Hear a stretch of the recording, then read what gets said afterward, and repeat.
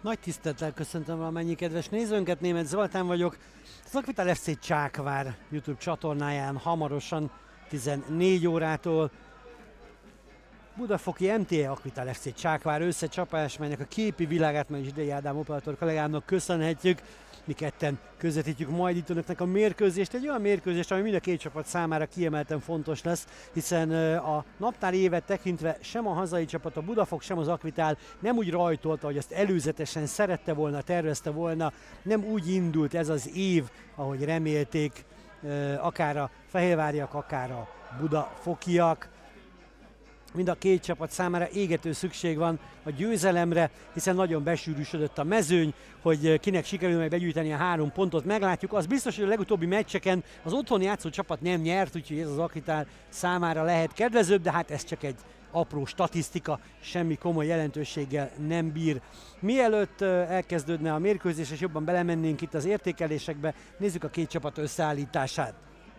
A hazai együttesnél a kezdő 11 a kapuban Gundel Takács Bence, a mezőnyben 5-össel Olá Bálint, 11-essel Horváth Oliver, 13-assal Vasmári Zoltán, 14-essel Horgosi Donát, 15-össel Német Mário, 17-essel Szerető Krisztofer, 24-essel Soltész István, 26-ossal a héten édesapává váló, és ezúton is gratulálunk ehhez, neki Lorenz Márton, 48-assal Fótyik Dominik és 77-essel Zsóri Dániel.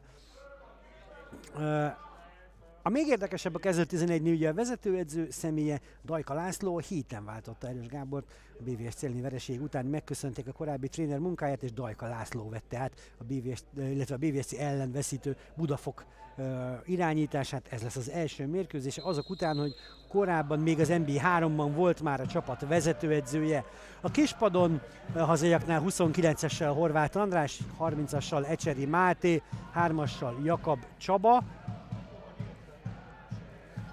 hatossal volt Csákvári Nándori Botond, 9-essel Elek Bence, 10-essel Kovács Dávid, 18-assal Orosz Marcel, 20-assal Bíró Márk, 21-essel Nagy Gergő, 23-assal Pintér Ádám, aki főszerepet játszott a két csapat őszi bajnokián, erről majd még beszélek részletesen, 37-essel Fekete Máté és 88-assal Cérna Erik Gábor, ahogy említettem, tehát Dajka László. Budafok új vezető edzője. Nézzük ezt a támadást közben. Lesz belőle valami? Gazdag, teszi tovább Ominger. Ominger nem tud elmenni, és így szöglet lesz. Az Akvitálnál négy helyen változott a kezdőcsapat a legutóbbi Soroksár elleni mérkőzéshez képest.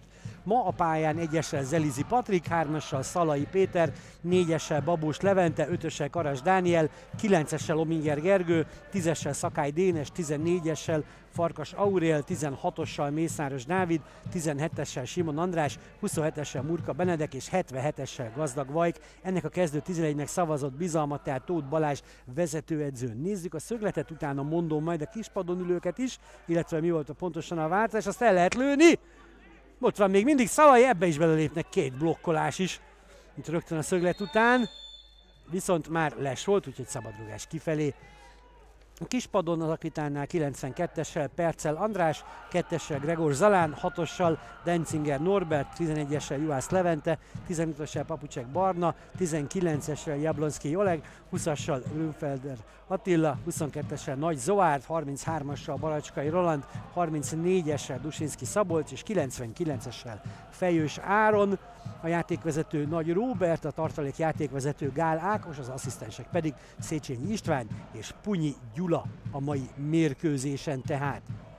Ahogy említettem, négy változás az Akvitálnál, abból egy kényszerű, ugye Tamás Nándor a legutóbbi fordulóban begyűjtötte ötödik sárga lapját, ami után automatikusan egy meccses eltiltás jön, és ezt a mérkőzés van itt most, úgyhogy Tamás Nándor nincs ott a keretben illetve a múlt heti kezdőből kimaradt Baracskai Roland, Fejős Áron és ö, Nagy Zoárd. Az ő helyükre bekerült a kezdő csapatba Szalai Péter, ö, Szakály Dénes és Ominger Gergő. Ezek a változások. Tehát amikor nagy bedobásra készül a hazai együttes a találkozó harmadik percében, ezt várjuk meg, hogy lesz-e belőle valami, egyelőre úgy tűnik, hogy nem. Szóval nem úgy kezdték a csapatok azért ezt az évet, ahogy előzetesen bíztak ebben, vagy reménykedtek. Ugye az Akvitának nem volt elmaradt mérkőzése, úgyhogy a szezon az év szombathelyen kezdődött, ahol úgy játszott 2-2-es döntetlent az Akvitál, hogy több mint egy fél időt ember előnyben játszott. Úgyhogy uh, ott azért illet volna, vagy jó lett volna begyűjteni a három pontot, csak egy pont lett a, a mérleg, a végül begyűjtött pontok száma. Aztán ezt követően kettő egyre kikapott a csapat. Az Eto otthonában ezt azért, erre azért lehetett számítani, ugye feljutásra törő légiósokkal telet üzlet, Győr, mondjuk otthon egy góllal jobb lesz az Akvitálnál. Az igazán fájó pont a múlt heti mérkőzés, a Soroksár elleni találkozó, ahol kettő egyes vereséget szenvedtünk, és hát ez lehet, hogy furcsán fog hangzani, de örülök, hogy nem rúgtunk gólt rögtön az elején, ott Omingerék lehetőségén a szögletből, mert a Soroksár elleni hazai meccsen 58 másodperc után vezettünk egy núra az első percben már, és a vége az lett, hogy mégis kikaptunk kettő egyre. Szóval nem a legjobb ómen volt az első percben rugott gól. Én ezt mondtam épp itt Zsidai Ádám barátomnak, kollégámnak, hogy legyen 0-0 nagyon sokáig, aztán a 92. percben a világ legcsúnyább góljával nyerjünk egy nullára, hát meglátjuk majd, hogy így alakul. Persze ez a Budafoknak is lesz bőven szava, például már most is Karacs ügyel bajjal, Mészáros segítségével tisztázott közben. A Budafok számára sem indult jól az esztendő, hiszen a legutóbbi fordulóban, ugye említettem, kikapott a BVSC-től 2-1-re a csapat, aztán 3-1-es vereséget szenvedett a Gyirmóttól, illetve e, szintén vereség volt még e, azt megelőzően az Ajka ellen. E, egy elmaradt meccse volt e, az előző évből, az év előző esztendőre kisorsolt utolsó fordulóból a Budafoknak, ott a Vasas ellen 0-0 lett, de győzelme nincs még. Tehát mind a két csapat úgy futott neki ennek a mérkőzésnek, hogy nem volt még győzelme, nincs még győzelme az biztos, hogy egy valaki biztos, hogy ugyanezzel a mérleggel fog állni a meccs után is.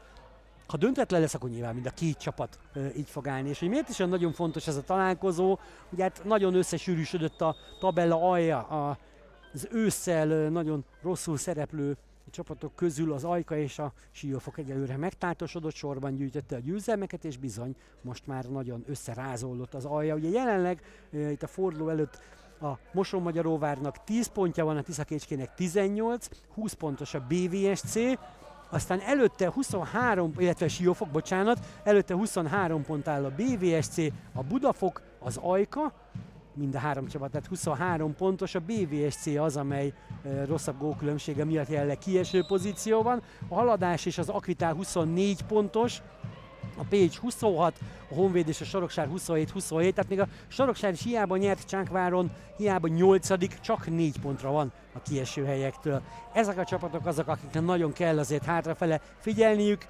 Kazi, igen, a Kazincbarcika 29 pontos, miközben ez egy jó indítás, úgyhogy figyelnie kell a csákvári védelemnek, de hát még azért a Kazincbarcika sem leérezheti magát teljes biztonságban, szóval nagyon szoros ott a közepe. Nagyon szoros. Jelenleg tehát a, a Budafok csak jobb gólkülönbsége miatt nincs kieső helyen, az Akvitál meg egy pontra van a kieső helytől, szóval nagyon, nagyon szoros, mondom még egyszer, ez a tabella így ebben a formában. Velünk egy időben játszott mérkőzések, Honvéd Siófok, Moson Magyaróvár Gyirmót, Pécs Ajka, Saroksár Kozár Misleny, aztán 17 órától haladás Tiszakécske, Kazincbarcika, Vasas, Szeged BVSC, ezek lesznek a mai mérkőzések, és egy találkozó maradt holnapra, Eto FC Nyíregyháza szuper rangadó mondhatni, hiszen beszéljünk a tabella elejéről is, a Nyíregyháza 50 pontos, az Eto 42, a Vasalcsen 40, a Kozár Misleny 36, a Szeged 35, a Gyirmót 31, ők az első hat helyezett. Nekik azt hiszem azért nem, a kiesésre kell figyelni. Igazából reális esélye a feljutásra az első három helyezetnek van, talán mondhatjuk nyugodtan, a Nyíregyháza egyelőre nagyon magabiztosan vezet, és ha nem kap ki a Győr otthonában első szám üldözőjénél, akkor óriásit lép a feljutás felé. 42 pontos az Eto, 40 a Vasas. Véhetően ebből a három csapatból kerül majd ki az a kettő, amely felléphet az NB1-be a szezon végén. Na de foglalkozunk ezzel a meccsel, bár azért nagy helyzet nem volt, vagy semmi olyan esemény, ami megemelni a vérnyomást akár egyik, akár másik oldalon. Gundel Takács kezében a labda, –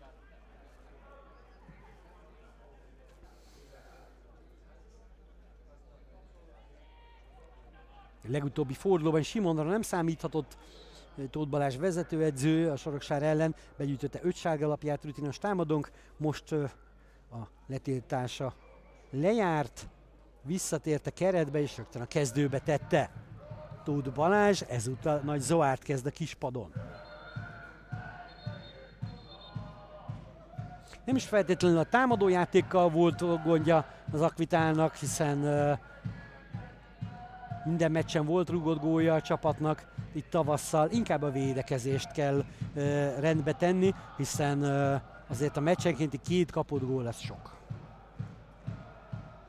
És hát ez nem csak egy átlag, hanem úgy stabilan tényleg kettő volt meccsenként a kapott gólok száma, hiszen haladás is, az Eto FC is, és a Saroksár is kétszer talált be az Akvitálnak.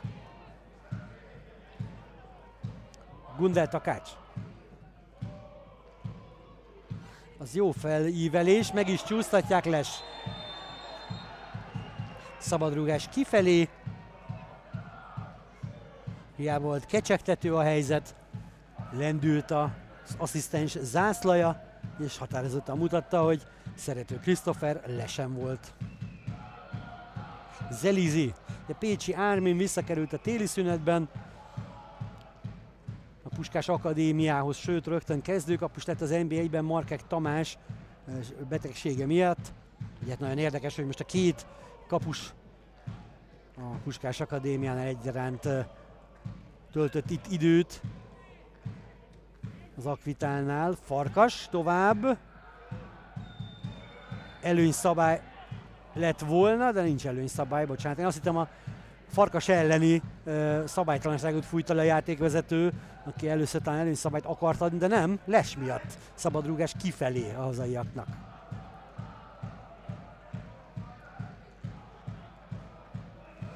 Aztán eladják a labdát a budafokiak, Simon szerezte meg, Farkas, Szakály, ketten veszik körbe, nem is tudja tovább tenni, Mészáros segíti ki, és itt Farkas most viszonylag szabadon, miután szerető ment befelé egy kicsit a szélről.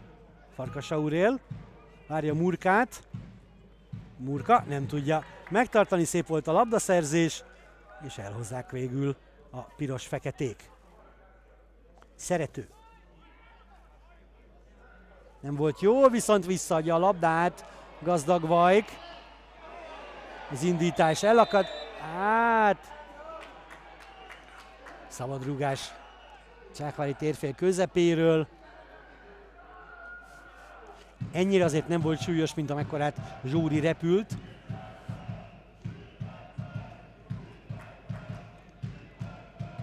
A Puskás díjas Zsóri, akinek a karrierének mintha még rosszat is tett volna az az elismerés. Azóta nem futotta be azt az ívet, amit előzetesen vártak tőle. Nem véletlenül nem is szerepel jelleg az első osztályban.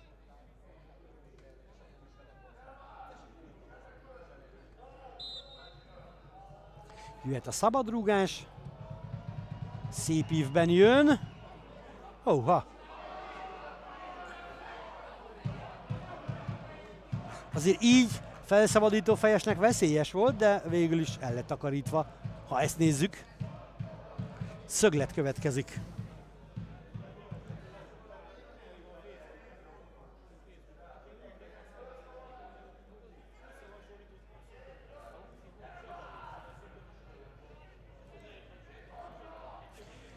Az első 10 perc a többi pályán is gól nélkül telt el, ahogy itt is. Kimegy, bedobás, és nem marad az egyik csákvári játékos, és szabálytalanságot reklamálnak a vendégek. Most megy a játékvezető megnézni.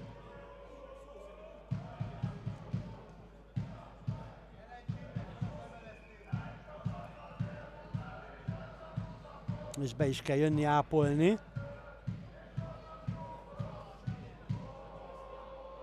Hát jól látom, Karacs maradt lenő, meg azért nem szokott csak úgy lemaradni.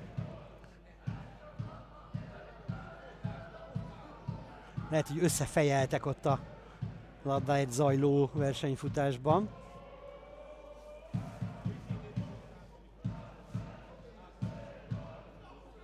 Egyenlőre még várnia kell a bedobásra a Soltésznak. Ugye említettem, hogy uh, visszatérek majd Pintér Ádámra, az ő góljával nyert ősszel 1-0-ra Csákváron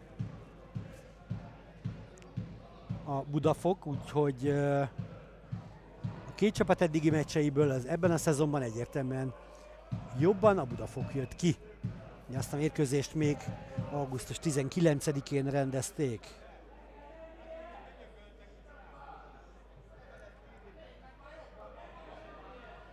Most megy lekaracs az ápolás után.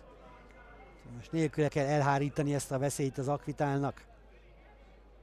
Legutóbbi szezonban itt ezen a pályán egyébként úgy játszott a 2-2-t a felek, hogy kétszer is vezetett az Akvitál. Murka és gazdag góljaival. Közben még egy szöglet, ezúttal Simon fejelte ki. Nem vagyunk szívbajosak ezeknél a felszabadító fejeseknél, de hát egyelőre működik. Szóval és gazdag góljaival játszottunk itt 2-2-t a legutóbbi szezonban. Azért most ezzel az eredménnyel szerintem egyik oldal sem lenne maradéktalanul elégedett, mind a két csapatnak nagy szüksége lenne a győzelemre. Ez a fejes veszélytelen volt, úgyhogy kirúgás következik. Eltelt az első negyed óra lassan, pár másodperc hiány. Igazából gól nincs, de nagy helyzet sem alakult még ki 0-0 az állás. És ugyanez a helyzet a velünk együtt zajló meccseken. Még egyszer emlékeztetőül Honvéd Siófok, Mosó Magyaróvár Gyirmót, Pécs Ajka és Soroksár Kozár Misleny.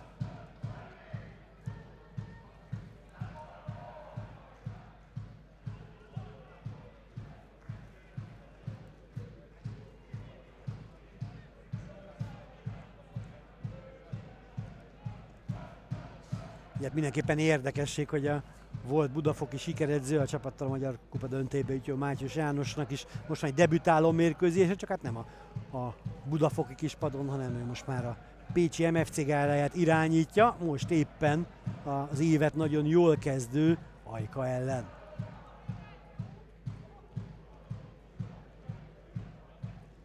Murka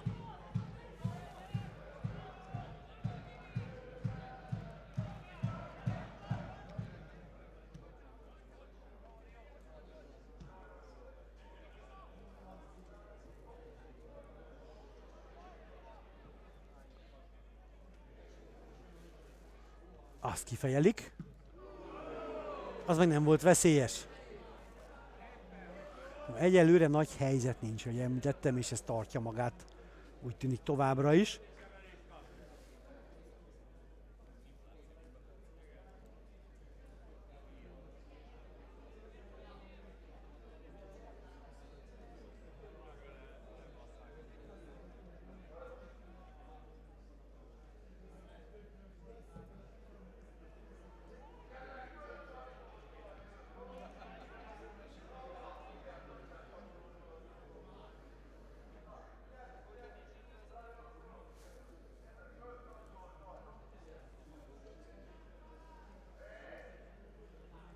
Babus, nem Babus elnézést, Szalai volt az, aki elvégezte a bedobást.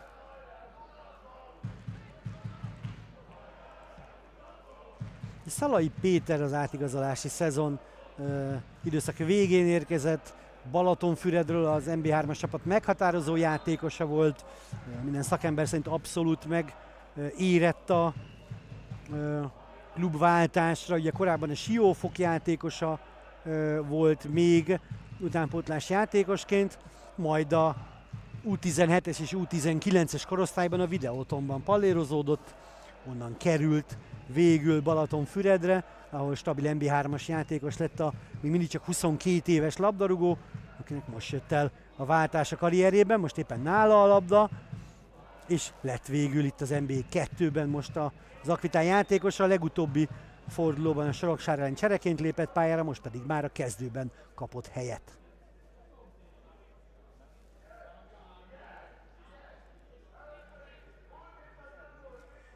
Megszületett a forduló első górja közben némi meglepetésre. Mosó Magyaróvár Gyirmót 1-0, a sereghajtót került tehát előnybe hazai pályán.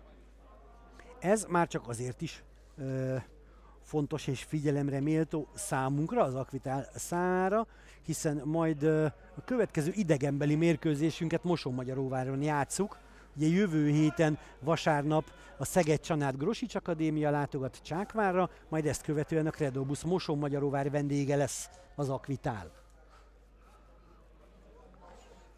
Moson-Magyaróvár nagyon-nagyon nehéz helyzetben, szinte már-már kilátástalanul nehéz pozícióban, hiszen uh, 10 ponttal állít a forduló előtt, és nagyon messze a bennmaradó helytől 13 pontra, ami nagyon sok.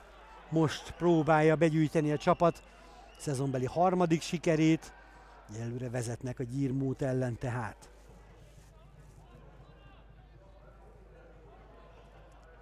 Karacs.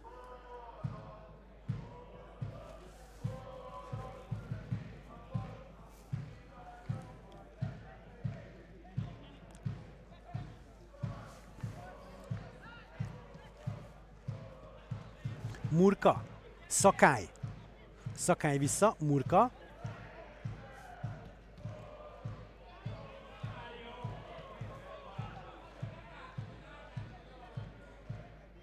Mészáros küzd nagyot.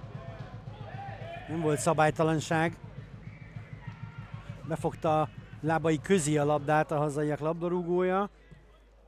Próbálja betenni a védők mögé szakály, de hát ezek lassú labdák sajnos nagyon könnyen leolvassák a hazaiak. Sokkal fürgébben, frissebben kellene játszani. Farkas egy taktikai szabálytalanság abszolút azért, hogy megakassza a Budafok támadásépítését, teljesen jogos a szabadrúgás sokkal fürgébben, frissebben kell járatni a labdát, mert ez a tempó nem lesz elég a helyzet kialakításhoz, nem is született helyzet egyelőre egyébként. Mondom még egyszer, továbbra sincs. Már még a többi pályán se csipkedik magukat a csapatok. Azt nézem, hogy az, az egy szem gól volt öt meccsen, 20 perc alatt.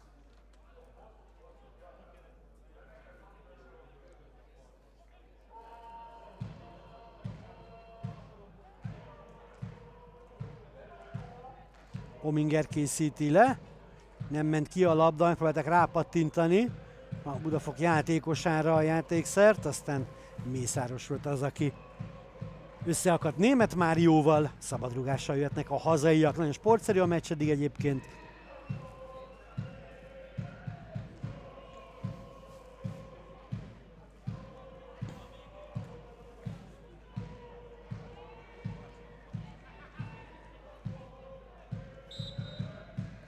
érezhető, hogy egyik csapat sem vállal felesleges kockázatot, az nem rossz.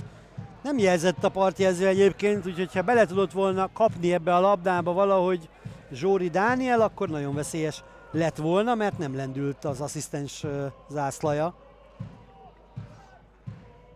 Talán az eddigi legveszélyesebb szituáció, ami kialakult itt a kapuk előtt. Murka, Farkas, elveszíti a labdát, aztán kis szerencsével Simon begyűjti, majd dobja be Farkasnak, ez is jó, csak most kellene jönni középen, szabad rúgás lesz, elsodorja szerető Christopher, Farkas Aurélt, szabad rúgás.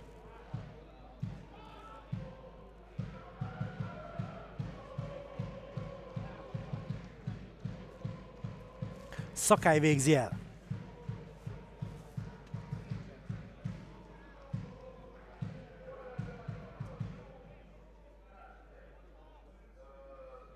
Mire elvégzi majd az Akvitán ezt a szabadrugást, letelik az első félidő fele, igazából nagyobb esemény nélkül. Tegyük hozzá, hogy eddig. Na nézzük.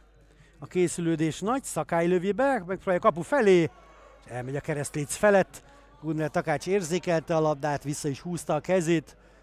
Érezte, hogy nem lesz ez veszélyes kapura, el lehet engedni.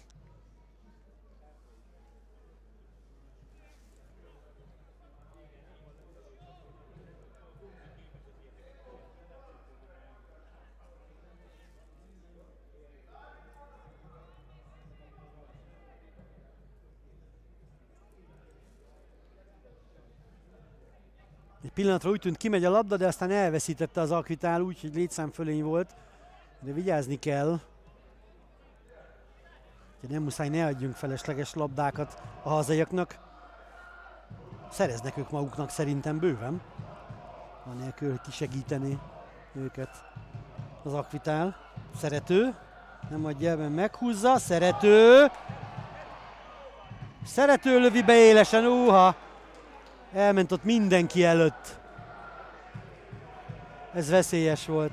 És hozzáért valaki az Akvitál túl ezek szerint, mert uh, bedobás lesz.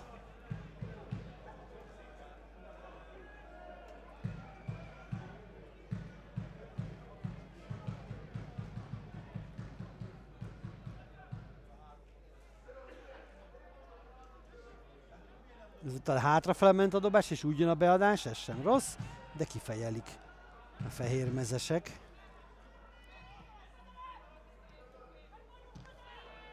Támadták szeretőt, úgyhogy ő inkább a biztosat választotta, és hazaadta a labdát.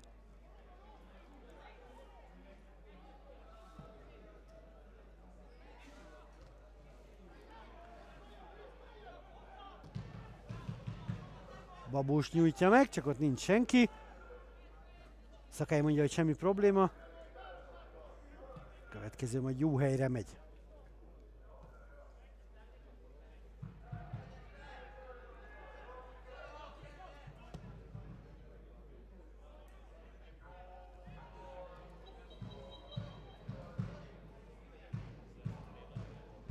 Zakvitálé. A labda a többi pályán nincs változás, továbbra is csak egy gól eddig a fordulóban. Azt a Mosó-Magyaróvár lőtte egy írmótnak, az a találkozó 1-0, az összes többi találkozó velünk együtt zajló mérkőzéseken 0-0 az állás. Ahogy változás lesz, természetesen beszámolok majd róla. Zelizi fordít ki, Murka. Itt pedig már a 26. percben tartunk. Farkas, Murka, Szakály, Mészáros. Most van mozgás, meg is tudja forgatni egy kicsit az Akvitál labdát. Nem, az a statikus játék volt, az úgy szép, Szakály!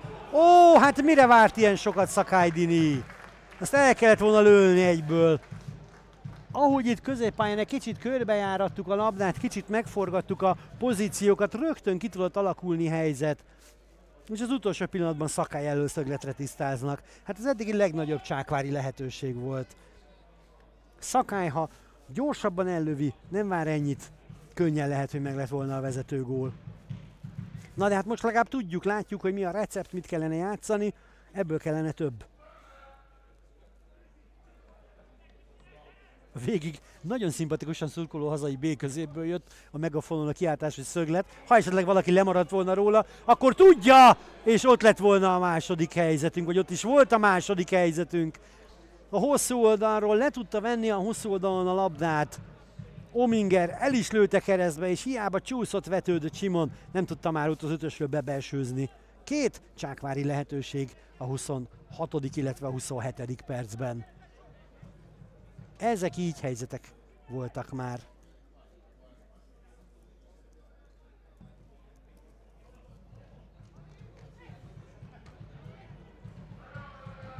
Fótyik nyújtja meg előre. És ez így veszélyes is lehet, szép támadás ez is. Zsóri mehet most. Zsóri, nem jön be a csel, nem ugrott el. Mészáros, aztán Zsóri elpasszolja, majd odarúg egyet Mészárosnak. Szabadrúgás kifelé. Hát most volt két lehetősége az Akvitálnak. Nagy kár, hogy nem tudtuk ezeket góra váltani.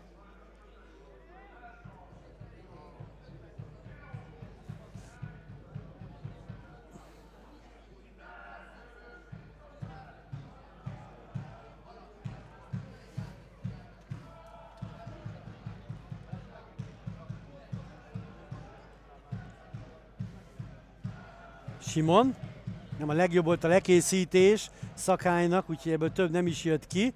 Szakály viszont elhozza, és még ki tudja passzolni Murkának. Murka a labdával.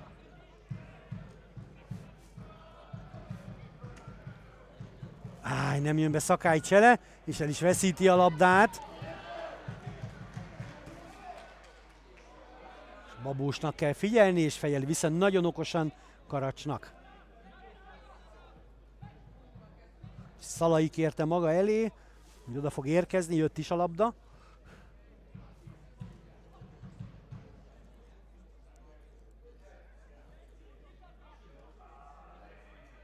És az elmúlt percekben az Akvitál dominál, volt is két lehetőség, de továbbra sincs gól. És igazából még egyik kapusnak sem volt olyan dolga, amivel a játékosok megtornáztatták volna, akár egyik, akár másik oldalon. Zsóri került közben a földre, és nem feltétlenül... Oh, oh, oh, ja megvan, nem megy ki. Nem feltétlenül uh, rekl- uh, hiába reklamáltak Ubdafokiak. Ez a határeset volt. Uh, Zsóri landolt a gyepen.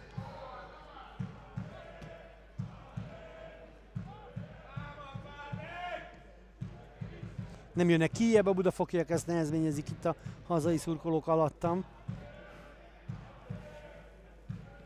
Vasvári és Zsóri nem támadta meg a védőket. Mészáros. Simon felé, elfejelik. A védők, ez így szöglet szerintem, így van, sarokrúgás. Végül ki tudta bólintani Horgosi a labdát Simon elől.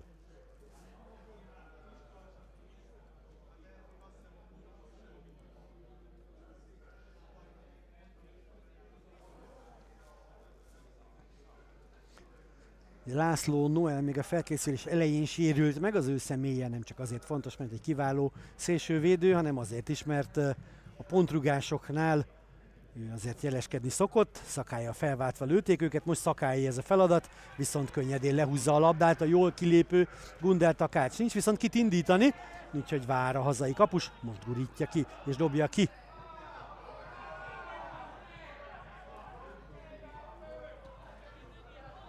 szerető.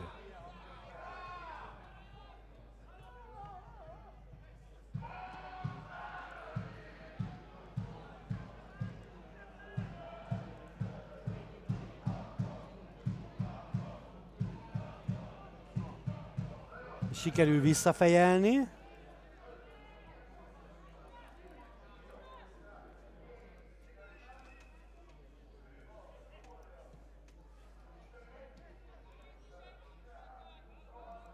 Mészáros. Na most kit választ? Érkezik Babós a Levente, belép a támadásba, ugye Karacs visszamarad védekezni, úgyhogy ő nem fut el. Farkas. Á, nem volt jó a passz. Bevonják a kapust is. Gundel Takács nyújtja meg előre. Ez pedig egy hosszan előrevágott labda, de hát ott nincs senki az a jó oldalon. Soltész most egy picit vaktában lőtt el ezt a labdát. Hát a 32. percben járunk, azért az elmúlt negyed órában az Akitál volt talán a dominánsabb két helyzettel, de egyelőre meddő ez a fölény. Mészáros. Murka. Farkas.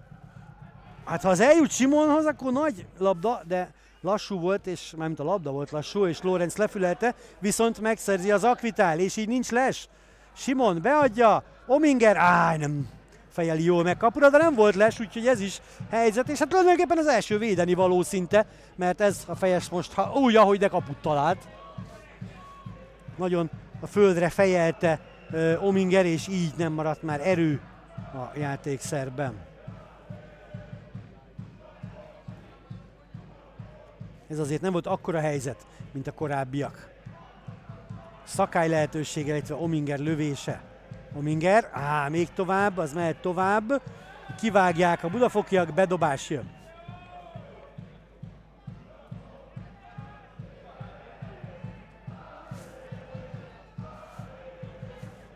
Hát nem tudom, hogy 30 két és fél perc után a szakvezetők közül ki mennyire elégedett a látottakkal. Szerintem maradéktalanul egyikük sem tehát sem Tóth Balázs, sem Lajka László hazai oldala nincs megelégedve eddig azzal, amit látott. Ugye a hazaiak szakvezetője talán azért nem, mert az első negyed órában azért kezdeményezőbb volt a Budafok, azóta viszont, viszont ebben visszaesett a hazai csapat. Azt nem lehet befutni. Tóth Balázs pedig talán azért nem, mert uh, ugyanitt az Akvitál fordítva van ezzel a dologgal, tehát itt a mostani periódusban kezdeményező a Csánkvári csapat, de hát nem élt a lehetőségeivel. Szóval százszázalékosan biztos, hogy egyik szakvezető sincs megelégedve a látottakkal, meglátjuk majd hogyan alakul a kedély állapotuk az első félidőből hátralevő tucatnyi percben, illetve hát majd nyilván mit mondanak a második félidőre a csapatoknak.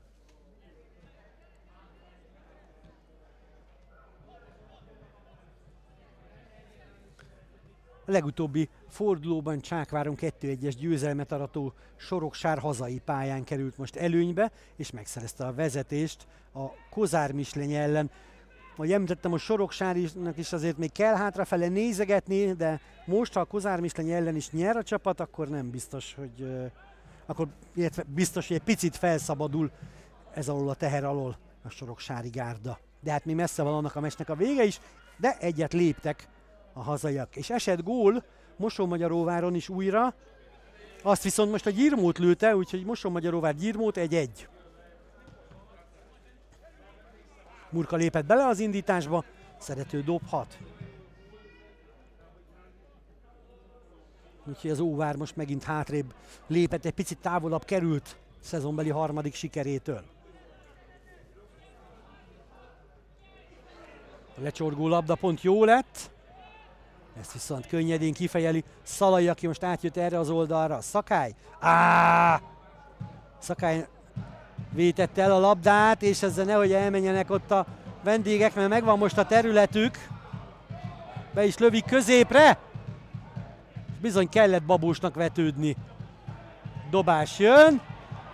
És nagyon reklamálnak a vendégek.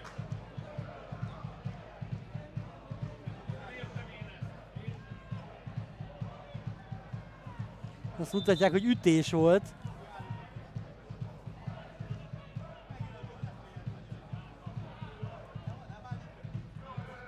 Sárga. Hát, ha ez sá... Hát nem tudom, mert ha az ütés vagy fejelés volt, akkor az piros. Hát, ezt nem láttam, tehát nagyon nem, nem tudom, mi történt.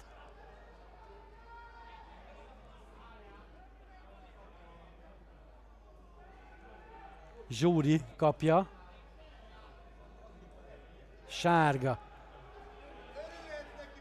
Hát ezt meg örülhet egyébként, igen, ha ez piros lett volna, ha ez fejelés vagy ütés, akkor pirosnak kellett volna lenni, hát most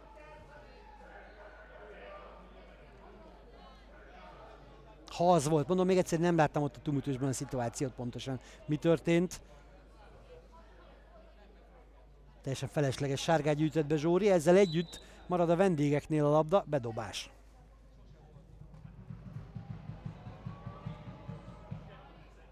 Sikerül kifejelni. De visszakerül a hazaiakhoz. És jön a Zsóri kerül a földre. Mehet tovább.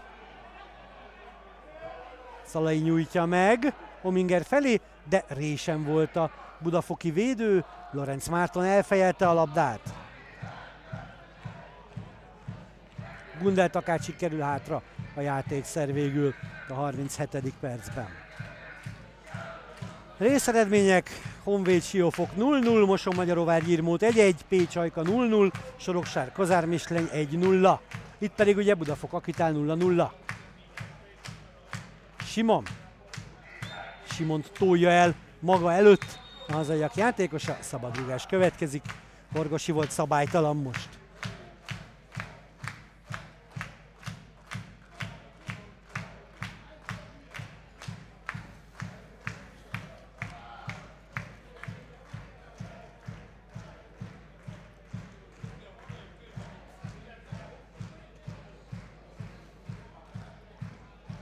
Babús be középre, Karacs.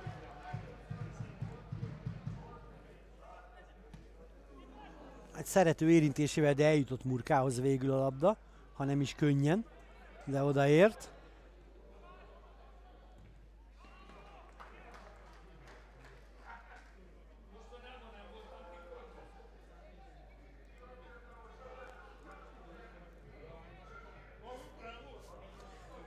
Szakály készül a szöglettel.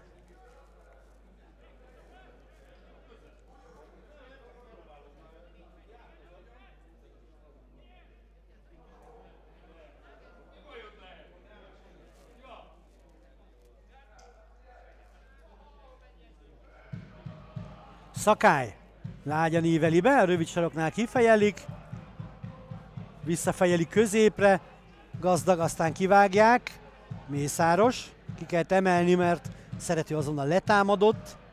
Az nem volt jó most Szalaitól. Kirugás jön majd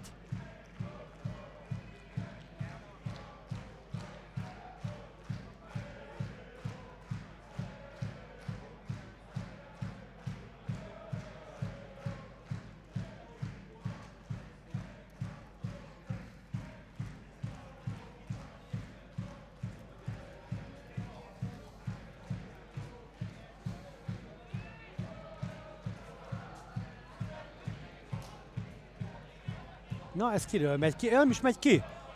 Innen egy, ott egy kis csalókán pörgött a labda, úgy tűnt, mint a kimenne, de végül nem hagyta le játékteret. És a lefejelt labdát megszerzik a hazaiak, de az ívelés már nem jó. Hiába bólintotta a német Mário Horváth Oliverhez, az ő ívelése, felívelése nem volt jó.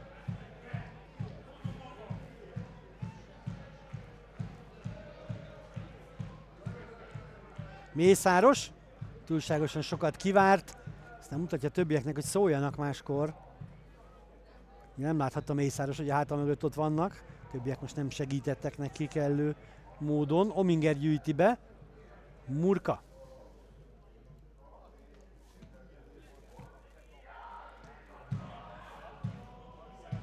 A szép Ominger, Ominger még mindig, és kirúgják előle, újabb szöglet. Na ezek a az apró váratlan húzások, váratlan kombinációk, apró pici pluszok kellenek ahhoz, hogy helyzetbe kerüljön egy csapat. Ez a meccsre ez meg hatványozottan igaz, mert nagyon kevés a lehetőség.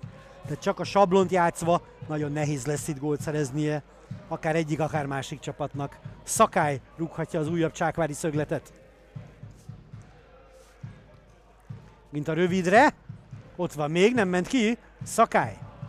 Szakály adja be most a hosszú felé, Farkas Aurél felfejeli, elütötte végül a kapus, és nem is ment ki a labda. Sőt, szerető, szeretőt nem tudják elválasztani, aztán viszont hátba rúgják Karacsot, a játékvezető sípszava azonban harsan, szerető szabálytalan körülmények között került a földre, megpróbálta elengedni előnyszabályjal, a találkozó játékvezetője, de mivel ez nem valósult meg, így visszafújta a szabadrugást, amit elszór a hazai csapat nagyon könnyelműen.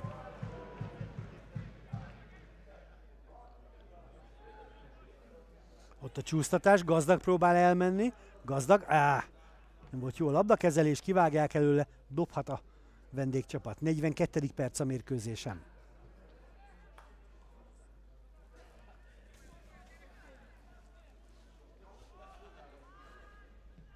Most jön be a labda. Simon megpróbálta lekészíteni lövése magának, de nagyon magasan volt idő odaérni a hazai védőknek. Mire lőtt volna, addigra már elpöckölték a labdát előle.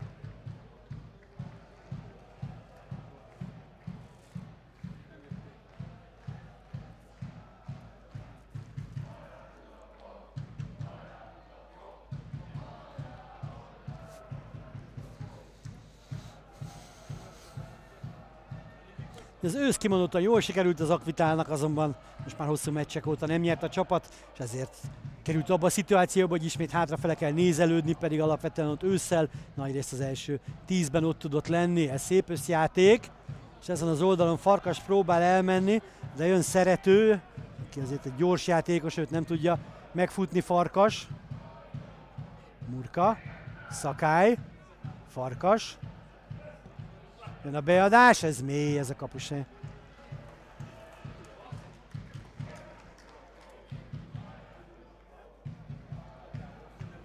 kapta a levegőből viszonylag könnyedén Gundel Takács.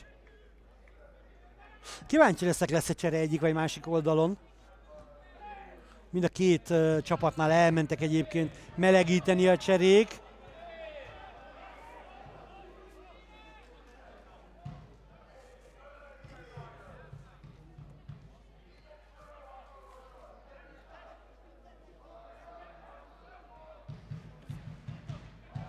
Lorenz.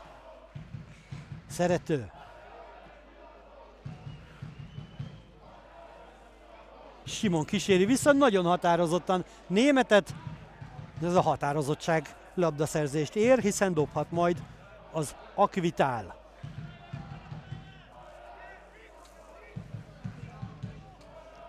Murka keresi a játszótársat, akit meg lehet keresni a labdával.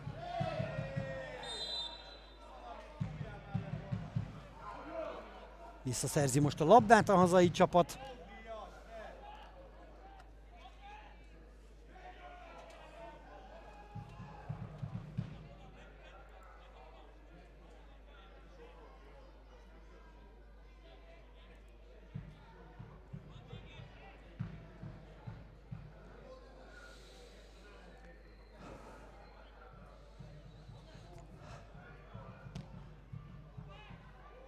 Oha!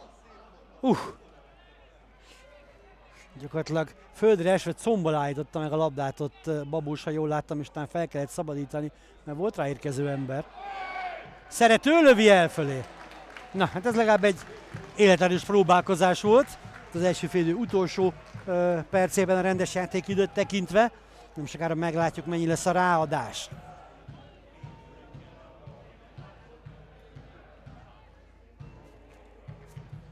Nagyon-nagyon sokat nem állt a játék, nem hiszem, hogy nagyon sokat rátenne az első félidőre majd a játékvezető Nagy Robert, de hát nyilván meglátjuk mi a döntés. Lejárt egyébként a rendes játékidő, nem látok táblát, azért nem látunk táblát, mert nincs hosszabbítás, vége az első félidőnek, a, a játékrész első felében inkább a hazaiak ö, uralták a játékot. Aztán utána inkább az Akvitál volt két lehetőség egy percen belül a Csákvárnak, de gól nincs, innen folytatjuk majd a második játékrésszel.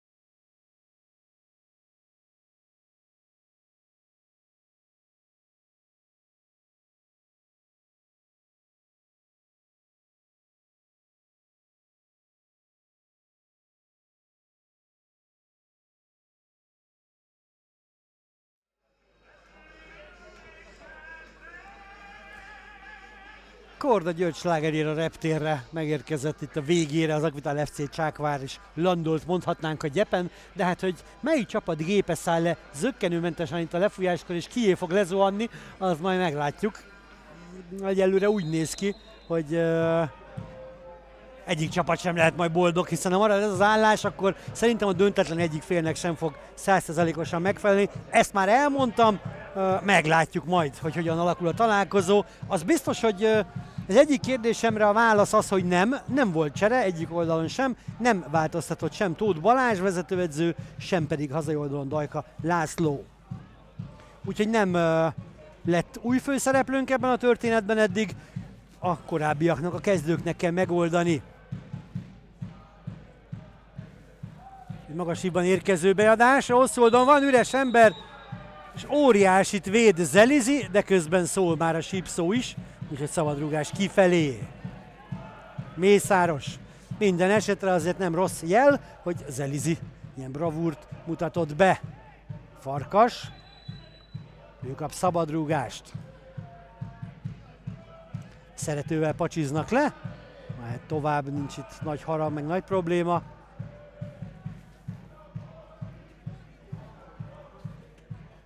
Ugye 17 órától majd haladás Tiszakécske, Kazincbarcika, Vasas és Szeged BVSC meccseket rendeznek.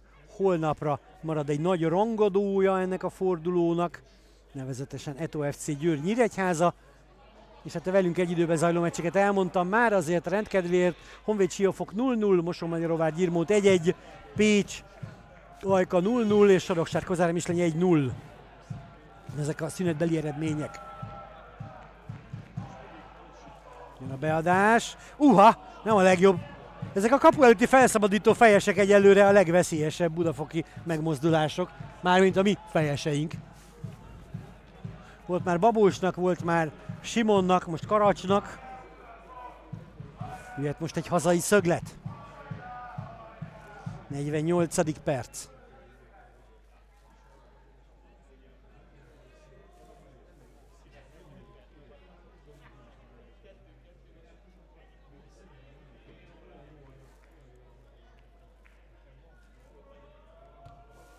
És jön be a labda a rövid saroknál, Simon fejeli ki végül a labdát.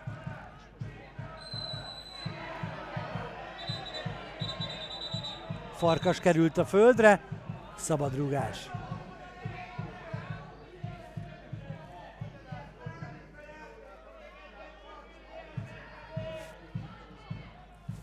Babus végezte el. Karacs vissza, Zelizi. Hogy említettem, Tamás Nándi nincs az Akvitálnál, hogy az ő távollétében a kapusként Percel ö, áll bevetésre készen, mert általában az a legritkább, hogy kapus kell cserélni.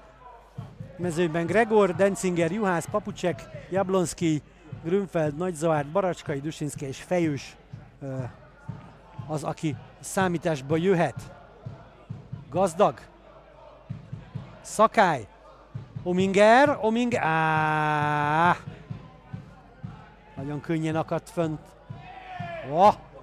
És ott viszont egymást a két csákvári játékos, és ebből bajba kerülhetünk, mert a lendületből érkezett a hazai kötöse Olá, és áthalad a labda. Zsóri a gólszerző.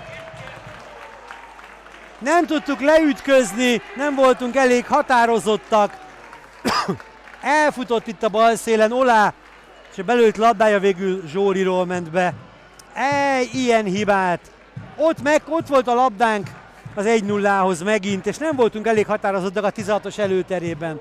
Budafokiak pedig elfutottak egy labdaszerzéssel, és be is lőték a vezető góljukat. 1-0. Ilyen hibát nem szabad vétenünk. Sokkal határozottabbnak kell lennünk támadásban. És itt védekezésben is az volt a döntő momentum, hogy nem tudtuk leütközni, még sárgalapot érően sem Olát a félpályánál. Előtte a 16-osnál nem lőtünk, nincs lövés. Ha nem lövünk, abból, abból könnyen labdavesztés van, és a labdavesztés van, így el tud menni egy csapat. Ahogy el is ment a Budafok. 1-0. Hát fel van adva a lecke most. Pedig az első félidő második felét egyértelműen uraltuk. Helyzetünk volt. Szalai nem jól teszi tovább. Szorongatták. Fótyik. Fótyik emeli ki. Nem ment ki a labda, csak most. Mészáros el is végezte gyorsan a bedobást. Zsóri góljával vezet a Budafok.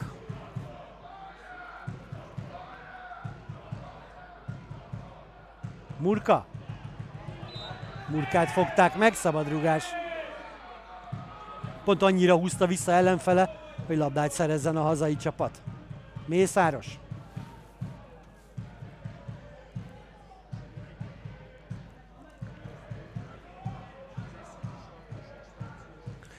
Hát az élő tabella így most már nekünk nagyon rosszul néz ki, mert akkor a Budafok is megelőzött minket, úgyhogy ha így maradunk, akkor 13. helyen állunk, viszont még nagyon sokan mögöttünk ezután fognak játszani.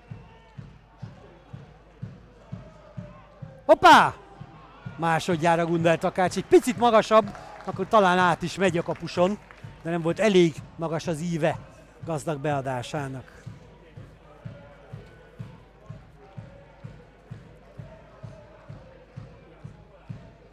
És hát nyilván most már nem fogja elkapkodni a hazaiak kapus ezeket a kirúgásokat. De kár, hogy lesen volt Simon. Visszafejelték azt a vendégek, de hát a kapus élet. Gundel Takács másodjára. Most magasabb ívben, ezt már úgy közvetlenül nem lehet visszafejelni, viszont kimegy a labda. Ezért a Budafok sem ülhet rá feltétlenül az eredményre, az nem jó men.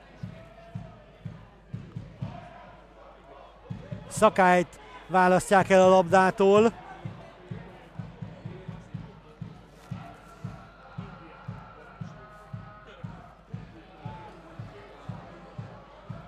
Murka. Simon megcsúsztatja. Ominger, de hát egyről csak ketten vannak Simonnal, az szabadrúgás. Sárga lap lesz. Horgosi kapja.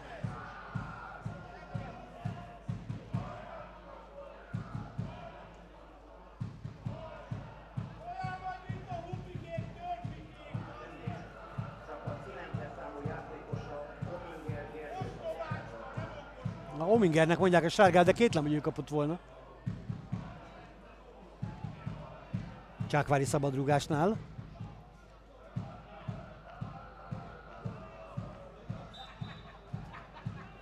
Szakály. Szakály adja be. Ott van még. Nem sikerül ráfordulni, és most vigyázni, mert szeretőbe gyűjti a labdát. És meg is indul szerető. Jön a keresztlabda, ez is jó. Babós szépen mentett. Hát ezekre a kontrákra fel kell készülni, mert nyilván ahogy kitámadunk, el fog jönni a hazai csapat. Most jól reagáltuk le, jól keresztezett, jól érkezett Babós, és blokkolta is a bepaszt.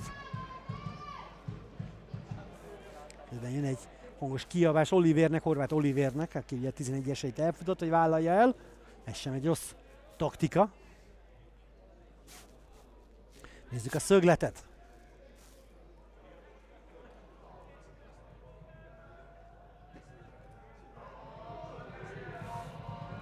És jön be a labda élesen, sikerül kifejelni.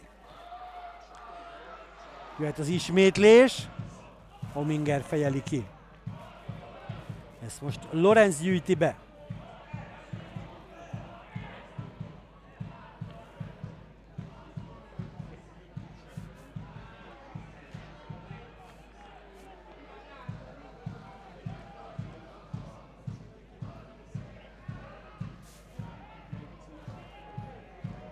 Babós. Zelizi. Mi történt?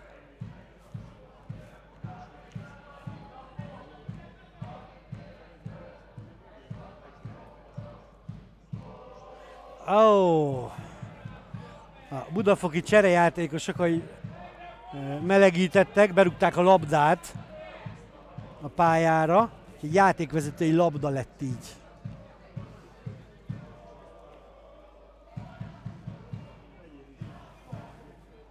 Karacs. Fejős Áron öltözik az Akvitálnál. Ő fog jönni. Fútyik. Ez is lap lesz. Térdel előre. Előre nyújtott térdel jött Fútyik. Ezért a sárga lap. Ezt mutatja a játékvezető is, hogy előre tette a térdét, és beleszállt gazdag hátába.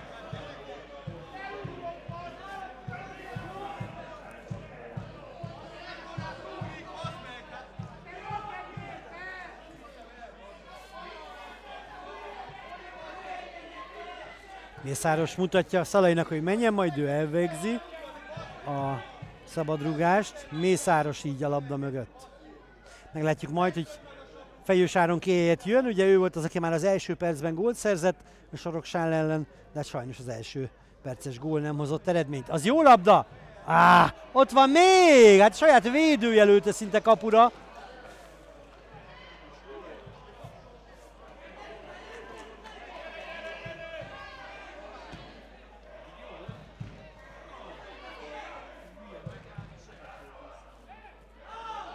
Mészáros a lecsorgó. Most kapja a taktikai utasításokat. Fejős, aztán jöhet majd a csere, 57. perc, tehát egy nulla. Közben a Soroksár már 2-0-ra vezet a Kozár Misteny ellen. abszolút jó pozícióba került az utolsó fél órára a hazai csapat mint ahogy itt sincs rosszban egyelőre. Horváth Olivér indítása hosszú volt, Zelizi gyűjtötte be.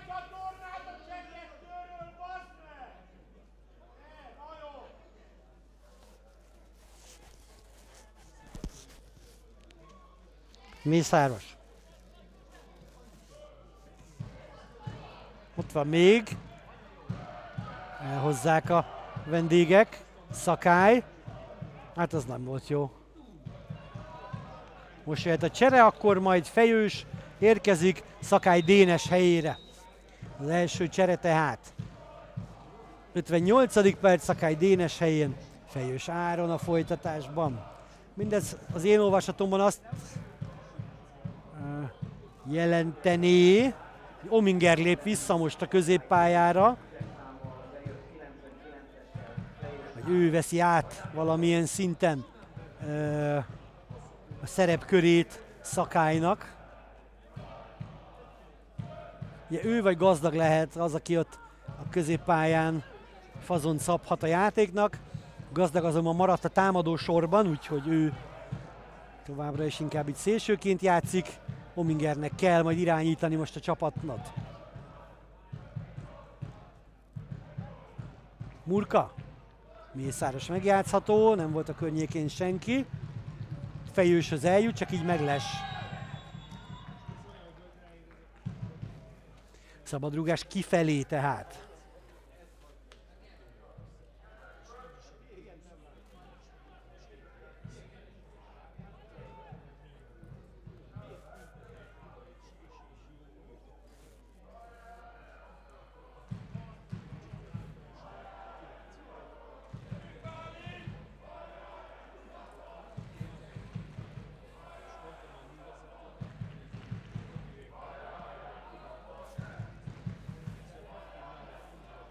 Sikerül megcsúsztatni, Murka gyűjti össze.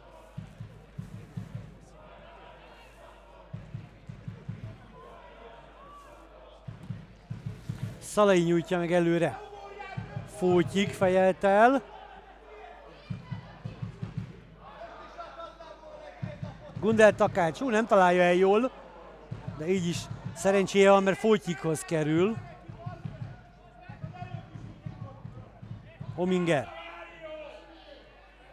Ez mi lesz? Dobhat. Hát ez a legrosszabb ítélet, mert ez nem lehet. Tehát, hogy sok minden lehet, de az akvitál nem dobhat.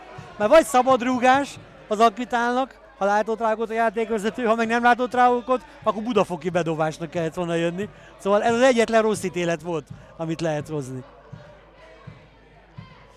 Fejős. Vagy az egyetlen ítélet lehetett, ami nem, ami nem lehetett. Murka. Murka adja be és kifejelik végül gazdag elől.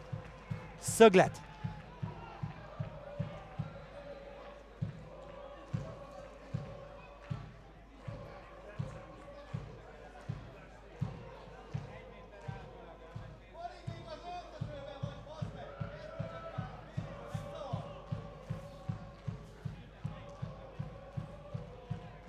Gazdag a szöglettel.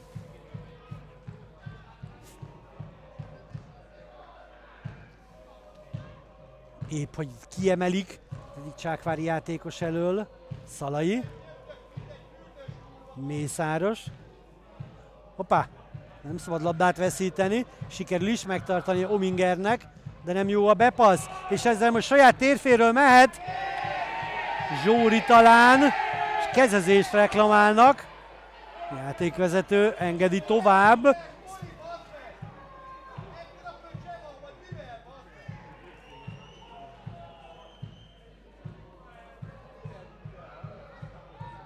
Sima. Jól fordul le két ember között most. Murka. Gazdag. Próbálja nyomás alatt tartani. Áj, ez nem jó. Murka lőtte el. Próbálja nyomás alatt tartani az Akvitála. Budafok Gándáját, Dajka László pedig erre frissítéssel felel, kettőt fog cserélni a hazai csapat pillanatokon belül.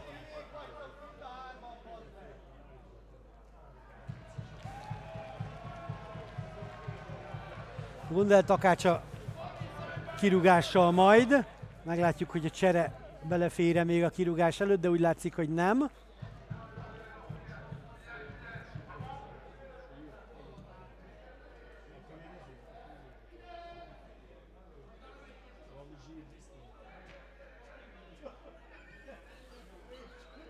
Zsóri hátának ad el az indítás. Uff, az lábat ért.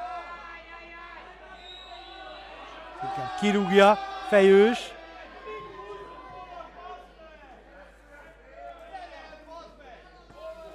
Soroksár helyzete némiben nehezebb lett egy kicsit közben.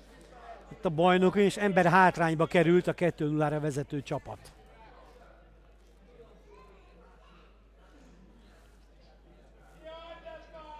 Hát azt a kis táblát innen nagyon nehéz kisakozni, de szerintem Zsóri helyére Elek Bence jön, ha jól láttam, 77-09. A csere, igen, a gólszerző Zsóri helyére jön, tehát Elek. És jött Nándori,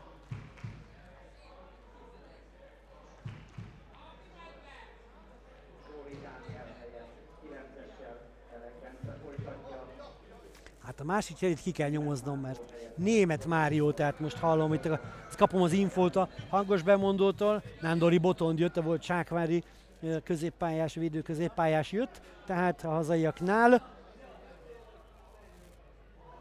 német és Zsúri ment le, Elek és Nándori a folytatásban.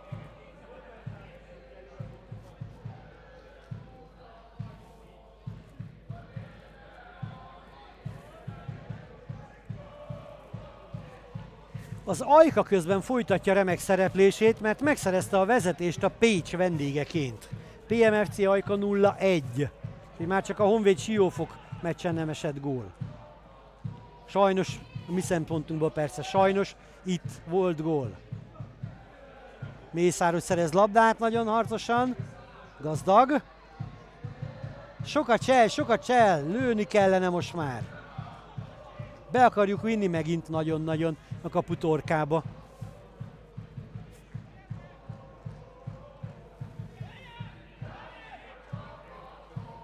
Babós. Pécs sincs jó paszban.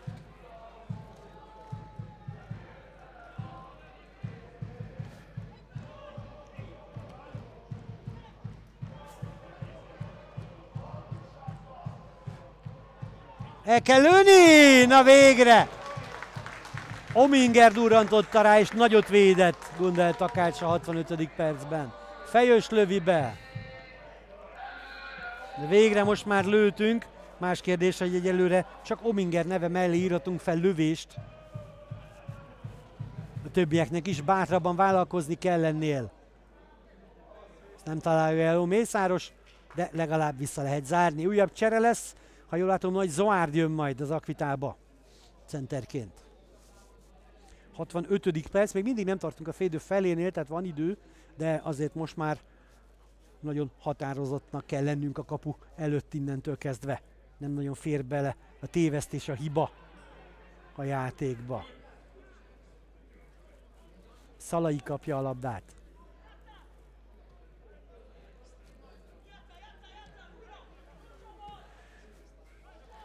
Kiválóan telt az első félidő nagy része a Mosó-Magyaróvár számára a Gyirmót ellen, hiszen vezetett 1-0-ra, azonban a Gyirmót egyenlített, most pedig már ember hátrányban van a Mosó-Magyaróvár. Úgyhogy most már annyira nem néz ki jól, de még mindig egy pontra jó lehet a, az Úvár, vagy jó egyelőre egy pontra de nincs könnyű helyzetben az utolsó helyen álló csapat jelenleg. Mészáros veszi le, és dobja fejős felé a labdát, de a mögé sajnos. És kettős csere lesz az akvitálnál, nem is egy csere, kettő rögtön. Ugye Budafok Akvitál itt 1-0, Honvéd Siófok 0-0, Moson-Magyaróvár Gyirmót 1-1, ember hátrányban a Moson-Magyaróvár, Pécs Ajka 0-1 és Sarok Sár Kozár Misleny 2-0, ember hátrányban a Sarok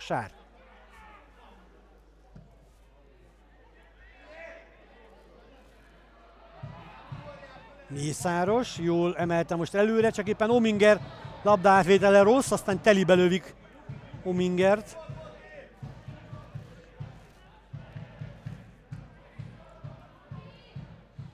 kicsit megtartja, megbecsüli a labdát a Budafok.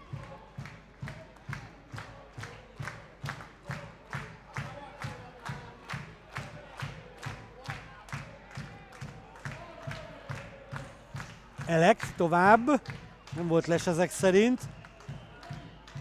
És Mészáros hámozza ki végül. Fújtik megelőzte, Farkas Aurélt, Fejős, Murka, nagyon előre nem lehetett, már azonnal visszazártak, nem volt kinek tenni egyszerűen a labdát.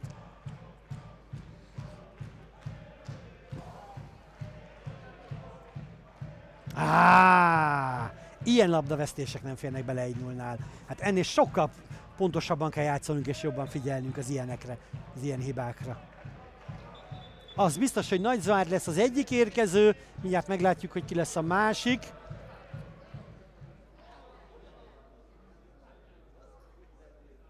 de még nem most egyenlőre, még Tóth Balázs utasításokat oszt, és a szabad rúgást még elvégzi a cserék előtt a hazai csapat.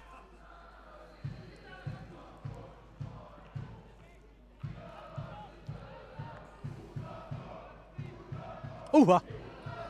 Szalai leveszi a saját labdáját, majd kiemeli. Ilyet is ritkán látni. Nándori a leghatározottabb, és hozza el a labdát. Nem ment ki. Elek Bence. A beadás, ez az Elizié.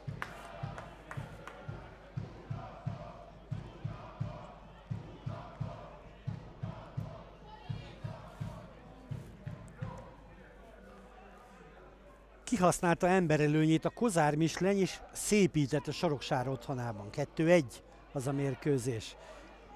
Farkas indul meg, de Fújtik jobb helyzetben is ki is vágja Fújtik a labdát. Most ment ki a labda, és most jöhetnek a cserék. Hiába végezte gyorsan Murka a dobást. Mészáros Dávid megy le, az biztos.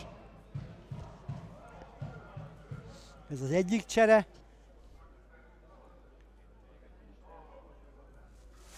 És Ominger megy le, ami számomra egy picit meglepetés. és érkezik a helyére. Na vajon ki? Nem láttam a táblát innen, de mindjárt megnézzük.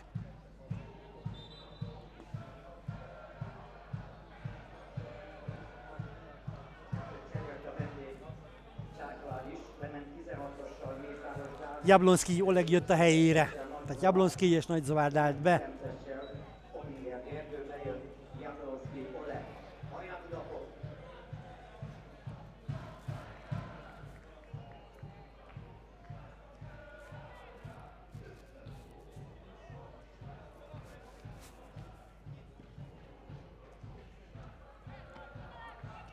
Horvát, melkason rúgta fejőst, és ez ben fogja tartani fejős. Na most kellene. Á, hát ez mi?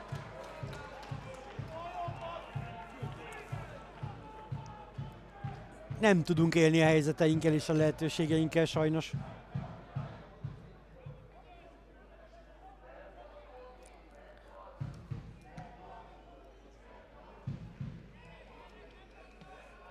Újabb kettőt fog cserélni majd a hazai csapat. Elek teszi vissza közben. Elek.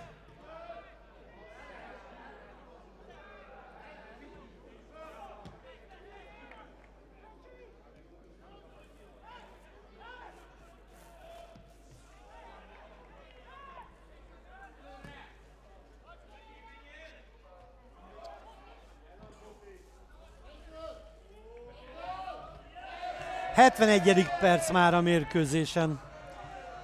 Zsóri találatával vezet a Budafok.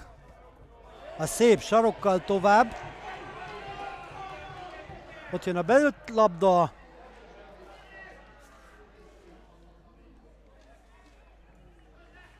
Simon, az jó.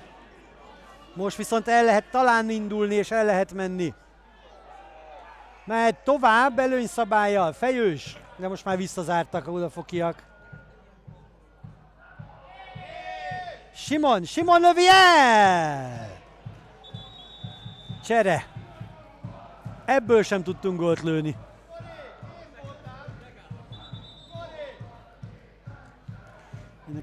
Cserék megint 11-es, 20-as a hazaiaknál. Bíró Márk jön Horváth Oliver helyére.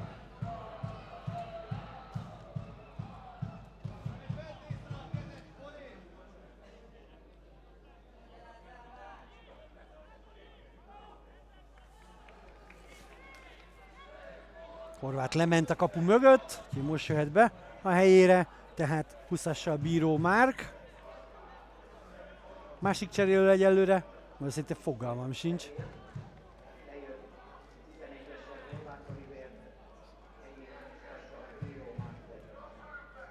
És most még egy csere. Most jön le Olá Bálint. A hazaiaknál és jön a helyére, majd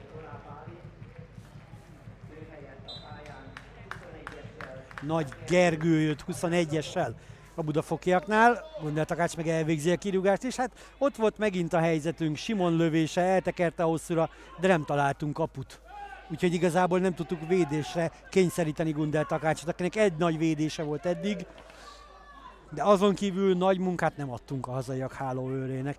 Na nem mintha ez fordítva is megtörtént volna, tehát igazából Zelizinek sem kellett itt folyamatosan bizonyítania. Sajnos ott a gólnál volt egy kiszolgáltatott szituáció, ott az, az, az ott inkább a védekezésen múlt, nem a kapus teljesítményén. Szabadrugás lesz, Elek harcolja ki,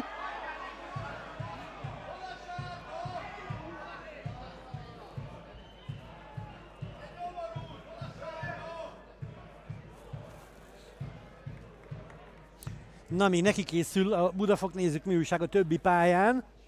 Na hát jókor néztem meg. A Siófok is menekült tovább rendületlenül előre, ugye, és megszerezte a vezetést a Honvéd vendégeként a Siófok. Hát gyakorlatilag nem csak ez a meccs alakul nekünk rosszul, de minden más is. De hát az összes többi nagyjából. Egy lövés, az mellé.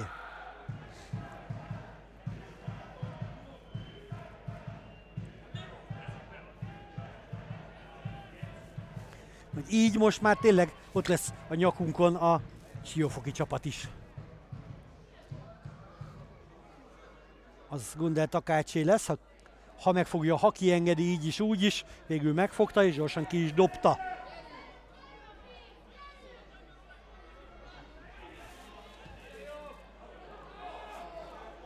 Ez veszélyes lehet még.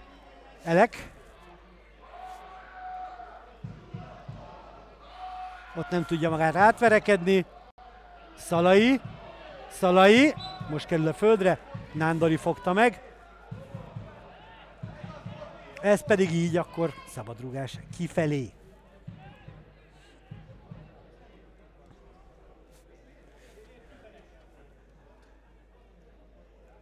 Közben a Mosó-Magyaróvár ember hátrányban visszavette a vezetést a Gyírmót ellen, 2-1 az a mérkőzés.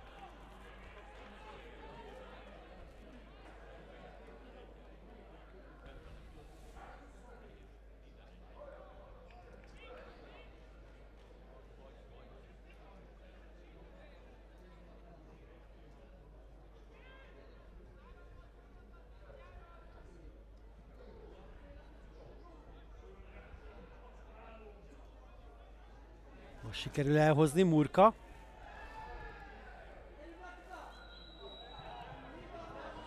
Szabadrugás lesz kifelé. Zelizihez passzolják hátra a labdát.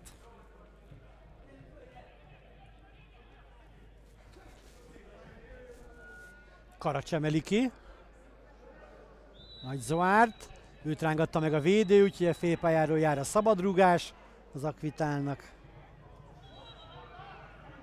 mozgott a labda.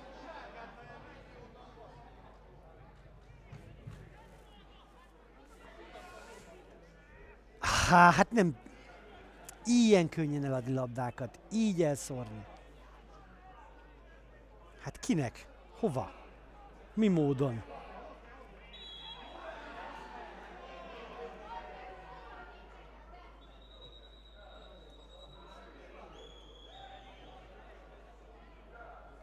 Nagyon gyorsan ápolást hívtak Farkas Aurélhez, reméljük nem súlyos. Még egyet cserélünk közben majd.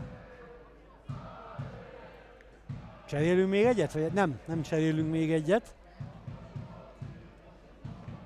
Murka kéreckedne vissza a pályára, jól látom.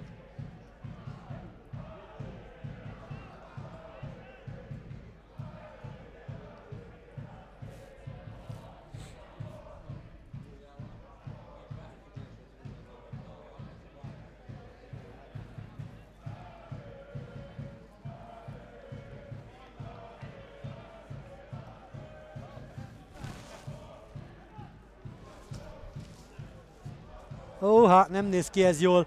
Csere lesz. Szerintem kiugrott a válla Farkas Aurélnak. Nagyon természetellenes módon áll a válla. És már a mentőhöz is megy. Farkas Aurél cserélni kell. Ó, ó, ó. Az, az innen ránézésre azt mondom, hogy kiugrott a válla.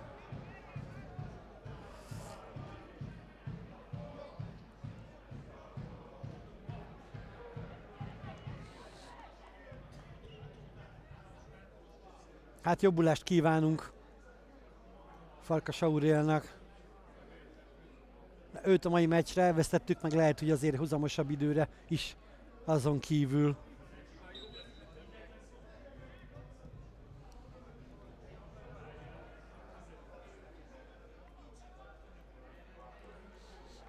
Dobás lesz.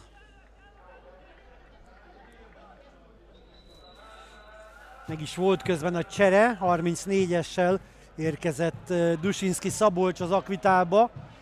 Jön a beadás, a fejes! Olyan végre! Simon a gólszerző! 79. perc. Simon fejese utat talál a hosszú sarokba.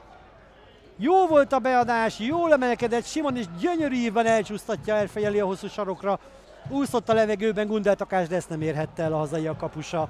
1-1 akkor, amikor elveszítjük sérülés miatt Farkas Aurért, mielőtt még ez a sok úgymond tudatosulna,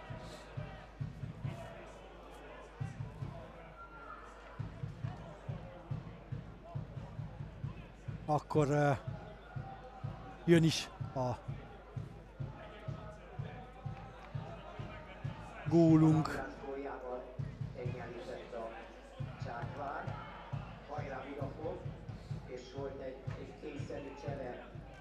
Közben azt nézem, hogy Farkas Auréli visszatérhetett a kispadra, hogy gyorsan ellátták a vállát, hogy talán nem ugrott ki neki, de most ott egy fogja a vállát, és van egy kötés is, ugye nagyon fájlalja, de reméljük akkor talán mégsem annyira súlyos, mint amennyire kinézett itt az elején. Na most aztán kezdődhet újra minden előről. Simon gyönyörű fejesével sikerült egyenlíteni.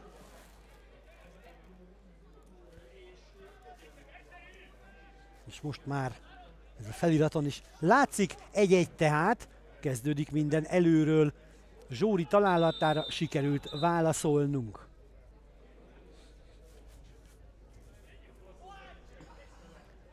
Szalai. Hát lesz a csapatoknak 10 percük eldönteni ezt a találkozót, plusz a hosszabbítás. Azt mondja, ez kinek sikerül, vagy kinek nem, majd meglátjuk. Simon, az jó indítás. Fejős, nem kapura ment, hanem megpróbálta bepasszolni. A beadás, ez kifejeli Fótyik. Gazdag. Hát ha valaki tudja, hogy kell itt gólt szerezni, az ő. Óriási gólt rugott legutóbbi szezonban itt. A jó 20-ról. Szalai. Babós. Szalai. Vissza Babósnak. Játék, játék, kiabálja Tóth Balázs vezetőedző. Becsüljük meg a labdát, addig nagy baj nincs, igen, amíg nálunk van. És most ezzel a Simon fejessel visszatértünk a meccsbe. Nagyon sok rossz megoldás után, és egyértelműen a győzelemre megyünk, mert gyorsan elvégezzük a szabadrugást, csak nagy elkapkodjuk most majd a dolgokat, a helyzeteket. Ez is szabadrugás.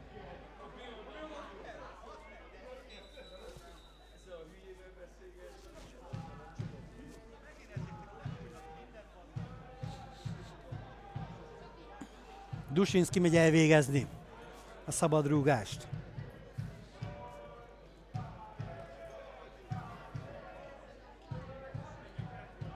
Na nézzük. Egy tagú a sorfal, nyilván messze van a kaputól, most jön be a labda, kifejelik ott középen, és megint csak megpróbált elindulni egy kontrával a hazai csapat, megy is szerető, begyújtotta a rakétákat, középen hárman jönnek, de még több fehérmezes és hát a visszafutó Simon szerintem a labdát vitte, de a játékvezető lefújja az akciót. És Karacs kap egy sárgát. Reklamálásért. Szerintem labda volt most, tehát volt ennél olyan, olyan napszituáció, amit lefújhattak volna a hazaiak javára, de ez most pont nem szerintem csere a hazaiaknál, megnézzük, megvárják? Nem, nem várják meg végül a szabadrúgást. 13-as, 10-es, Kovács Dávid érkezik, Vasvári Zoltán helyére a hazaiaknál.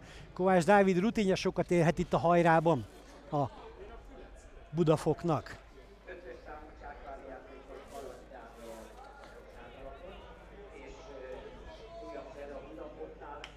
Ugye a változás nincs egyik másik pályán sem. Ugye ellőtték a cseréket a csapatok. Most már azoknak kell megoldani, akik a pályán vannak. 83. perc. Kovács.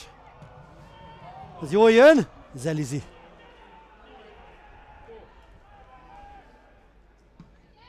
Zelizi küldi meg előre. Gyere Fejős és Jablinski, de Fejős lefejelik. Dusinski, földön fekve tovább húzza fejős, és jó helyre is ment végül is, mert Nagy Zoárt begyűjtötte. De eladják a labdát a csákváriak sajnos. Kovács.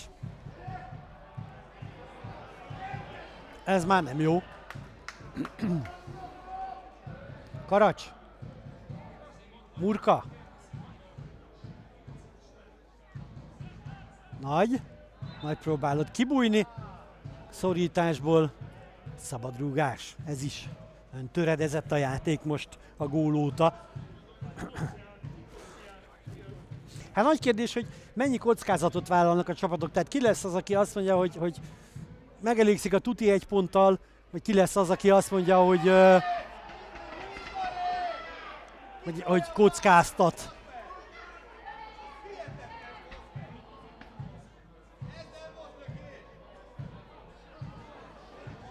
Nagy Zalárd. Kicsit megfuttatja Simont. Azt hiszem, hogy Simonnak most olyan megfoghatatlan posztja van, mert nagyjából olyan árnyékcenter is egy kicsit ö, Nagy Zoárd mögött, meg egy kicsit irányít is, meg egy kicsit szélső is, meg hát most abszolút Jolly Joker is, hiszen ő fejelte egyelőre az egyenlítés jelentő ö, találatot. Nagy óriási a birkozás, egy 20 méteres területet játszanak be a csapatok, és nem nagyon akarták kihozni onnan most elég sokáig a labdát. Itt most egy kicsit szellősebbek a lehetőségek. Dusinski, azt nem hiszem, hogy befutja. Ez hosszú volt Szalaitól a labda.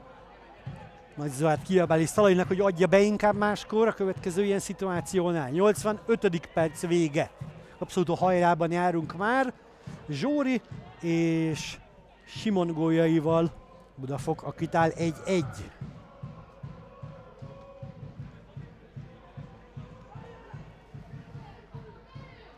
Zelizi.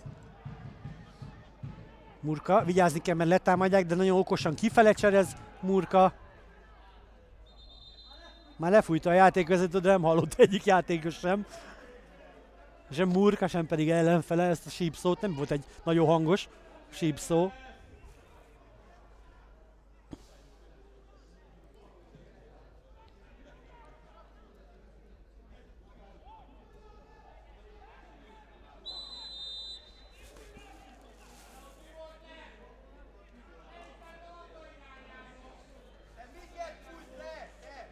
Honvéd Siófok 0-1, Moson Magyaróvár Gyirmót 2-1, Pécs Ajka 0-1 és Saroksár Kozár Mislany 2-1, így futunk neki a pályákon, a most zajló meccseken a hajrának. Dusinski jól fordul le. Hozzad, hozzad, mondja nagy, itt kellett volna passzolni, meg volt az a pillanat talán, de még megmenti Dusinski, mert fennakadt egy pillanatra Nándoriban, most jön a beadás.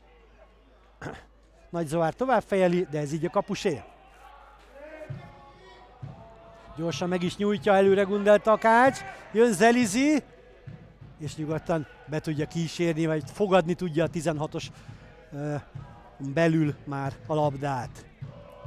Elek Bence megfuttatta ott a védőjét, de nem tudta megszerezni a labdát a hazaiak támadója. Uh, az egy labdaszerzés a hazai oldalon és ki sarokkal Karacs, nagy mentés volt, sőt, még be is futja a labdát Jablonski. Karacs. Ez kifejelik, dobhat az Akvitál. Három perc a rendes játékidőből hátralevő idő.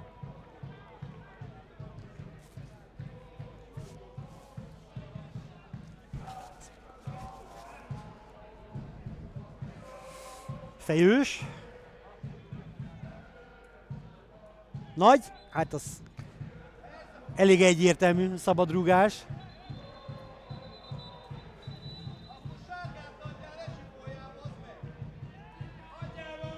játékvezető figyelmezteti a hazai játékos is, hogy hagyja elvégezni a szabadrugást, majd előtte Murkát is figyelmeztette, hogy visszafogottabb vérmérséklettel próbálja kiharcolni az igazát. Babus. Kiemelik a hazaiak a lefejelt labdát. Kovács. Fejős. Az jó meglátás, Simon. Simon. Belelépnek, egy picit sokat várt Simon. Fújkikról pattan ki a labda.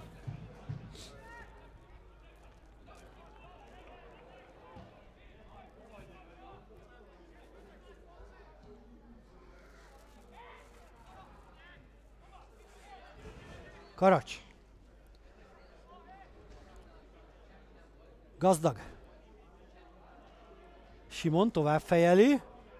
Még ott van Simon. Háttal a kapunak. Nyakán ketten voltak, úgyhogy onnan csak kifele lehetett passzolni. Jön a beadás. Nagy Zoárt fejeli föl. Azt most elhozzák a piros-feketék, viszont jól lépett vissza. Kimondom, el is veszíti a labdát. Zakvitál játékosa, viszont Zelizé az indításé. Ott nem szabad kidobni. Nagy volt a népsűrűség támadókat tekintve.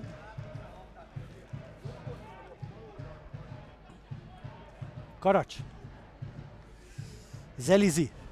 Most kijön letámadni a hazai csapat, úgyhogy Zelizi előre küldi miközben megkezdődött a rendes játékidő utolsó perce. Ez most jó lekészítés volt, jó labda is volt Simontól, várják Benketten is a labdát, belefejelnek, ott a gól!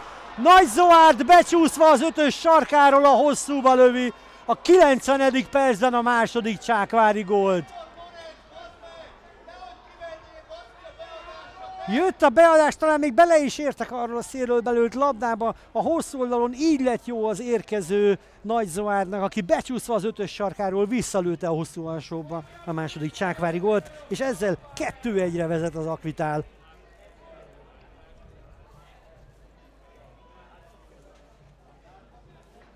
Egy-kettő. Most hívja vissza a játékvezető a csákváriakat a középkezdéshez, de hát még nincs vége ennek a meccsnek, bár nagyon sok budafoki szurkoló elindul haza a második csákvári gól után. De három perc hosszabbítás még lesz, és ezt uh, most már ki kell uh, védekezni a csákvárnak, nem szabad hagyni, hogy nagyon nagy uh, rohamokat vezessen a Budafok, pedig ez fog, mert már Fótyik is ott áll, hogy előre rohanjon. Itt most már fel fogják lőni a labdát a hazaiak és most nagyon-nagyon kell koncentrálni az Akvitálnak. Nagyon-nagyon oda kell figyelnie a Csákvári csapatnak.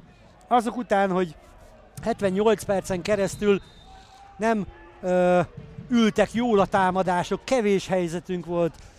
Voltak itt tavaszam olyan meccsek, amikor sokkal ö, veszélyesebben támadtunk, szabadrugás kifelé, akkor nem sikerült közel kerülnünk a győzelemhez, most ott vagyunk de élni is kell ezzel, élni is kell ezzel, nem uh, szabad most már lankadni a figyelemnek itt a hosszabbításban. Mondom, itt a második uh, gól után uh, több budafoki szurkoló és elindult haza, nem érzik úgy, hogy benne van a csapatban az egyenlítés, de hát az nem szabad, hogy elaltassa a csákváriakat.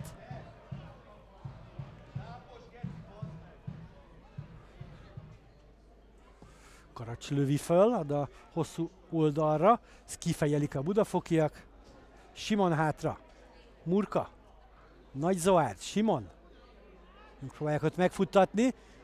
Helyettem Jablonski, ez sikerül is, megtartotta a fiatal játékos ellenfelével szemben a labdát. Jablonski tartja ott a saroknál, dobhat a hazai csapat, úgyhogy most vissza kell zárnia, védekezni az Akvitálnak. Igazából két perc már eltelt a hosszabbításból, meglátjuk lesz a hosszabbításnak hosszabbítása esetleg.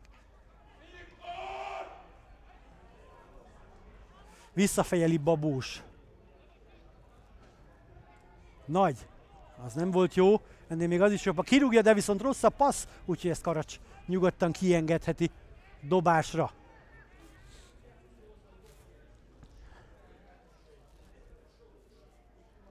40 másodperc választja el az Akvitárt az első idei győzelmétől, a tavaszi szezon első sikerétől, és azzal, hogy visszaverje a kieső helyekről feljövő csapatok első rohamát és távol tartsa magát valamennyire azért a ö, veszélyes zónától. Így sem lehet nyugodt a csapat, de hát így meg még mindig egy fokkal jobb a helyzet, de hát még van idő, még mindig van sajnos idő. Gundel Takács most lövi föl, ezt ki kell fejelni onnan. Most pulizni a labdáért, ezt el kell rúgni, szöglet semmiképpen ne legyen, dobás lesz. Most visszafut Babus védekezni, Nándori. Nem dobja el Nándori, hagyja a játékos társnak, ezt még el fogja engedni a játékvezető. Akkor is, ha lejárt a hosszabbítás. Előre jön Gundel Takács is a hazai kapusra. Itt most már a döntetlen abszolút csalódás lenne. Most nagyon-nagyon oda kell figyelnünk. Jön a bedobás, földre kerül valaki, megcsúsztatják, Gundel Takács fejeli el, kibólintjuk, nem tudjuk ellőni, még mindig ott a labda, most jön a beadás, ott ne együk fejelni, elmegy a labda, és szögletet mutat a, az asszisztens is, és a játékvezető is, még ezt is elengedik. Akkor még mindig van mit túlélnünk.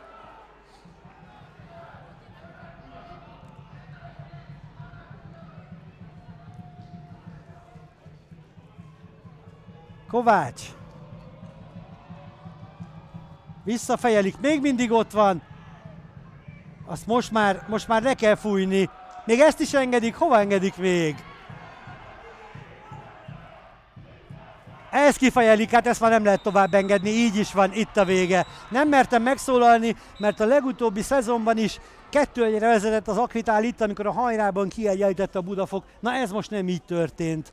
Kettő egyre nyer az Akvitán FC Csákvár, és folytatódik ebben a párharcban az otthon játszó csapatok rossz szériája, hiszen ahogy a Budafok nyert Csákváron, úgy most nyert a Csákvári Budafokon, és a legutóbbi szezonban sem tudott az otthon játszó csapat nyerni. Ami a számunkra a legfontosabb, megvan a 2024-es esztendő első bajnoki sikere, és kettő egyre nyerni tudunk a Budafok vendégeként, és mindez azt jelenti, hogy most legyőzött ellen felünktől el tudtunk azért lépni, el tudtuk őket hagyni még hozzá négy pontra, egy picit leráztuk magunkról a Budafoki gárdát, és feljebb is léptünk, sőt, olyannyira feljebb léptünk, hogy jelenlegi állás szerint a kilencedikek vagyunk a tabellán, ami azért uh, már jobban néz ki, de hát nagyon közel van még mindig a kieső zóna, továbbra is nagyon kell figyelnünk. Folytatás majd egy hét múlva a Szeged ellen, a mai mérkőzésen Zsóri góljával tehát vezetett a Budafok azonban Simon és Nagy Zoárd góljaival, a két center góljával tudtunk fordítani. Budafok Akvitál 1-2, Zsili Ádám operatőr kollégám nevén is köszönöm figyelmüket. Német Zoltánt hallották a viszontlátásra, a viszonthallásra. Találkozunk egy hét múlva.